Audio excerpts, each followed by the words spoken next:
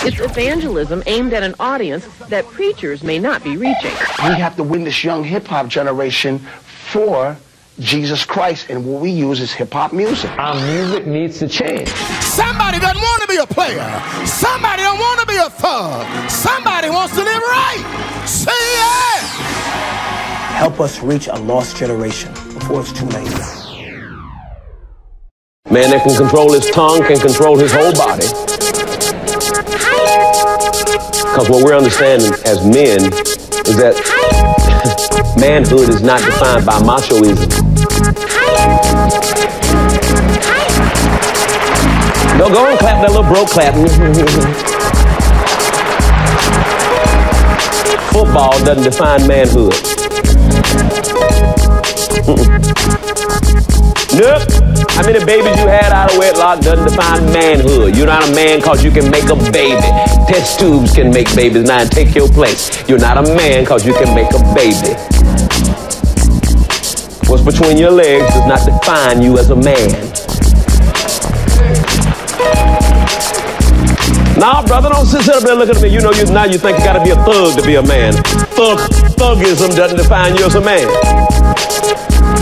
I'm gonna be a rap singer. Now I'm a man. Eh. No, you.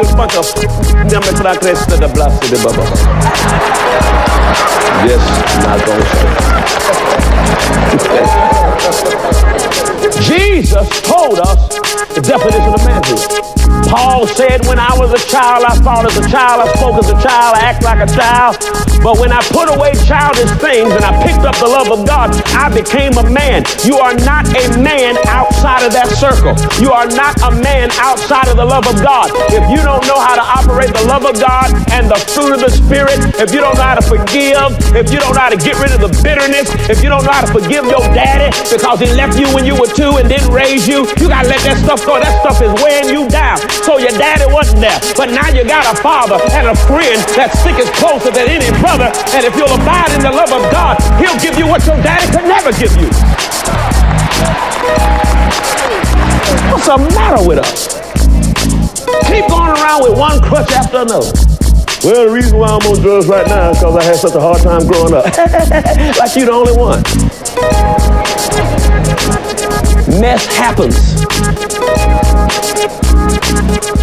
But it's designed to seduce you out of the platform for your power.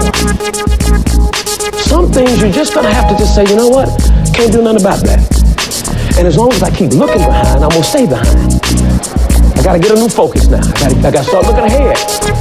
I gotta start looking ahead because the enemy is trying to replay my past. And every time I want to go forward, he tries to replay my past. Well, what do I do when he keeps replaying my past? I'll tell you what to do. You pre-play your future. You let that rascal know that I'm not the same. I'm not what I used to be. I'm on my way to another place. I'm getting ready to be successful in every arena of my life. And even though you don't believe it, and even though y'all never supported me, I got to go on and see what the end gonna be. Be, be, be.